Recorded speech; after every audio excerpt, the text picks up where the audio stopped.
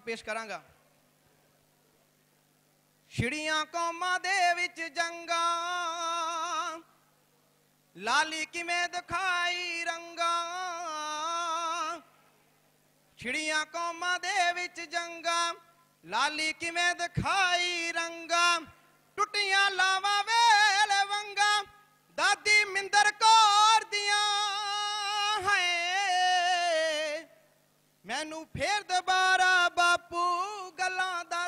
ਲਾਹੌਰ ਦੀਆਂ। ਮੈਨੂੰ ਫੇਰ ਦੁਬਾਰਾ ਬਾਪੂ ਗੱਲਾਂ ਦੱਸ ਲਾਹੌਰ ਦੀਆਂ। ਥੈਂਕ ਯੂ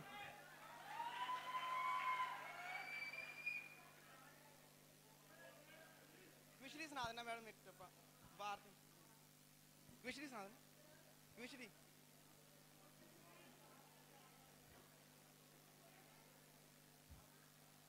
ਦਾਤਾ ਮੈਂ ਕਲਮੇ ਉਠਾ ਲਈ। ਅੱਜ ਜਹਾਂ ਮੇਰ ਕਰ ਦਿਓ, ਕਰਮਾਂ ਦੇ ਮਾਰੇ ਤੇ। ਔਲਖ ਨਮਾਣਾ ਟੈ ਪਿਆ ਤੇਰੇ ਦਵਾਰੇ ਤੇ। ਹਿੰਦੂਆਂ ਦਾ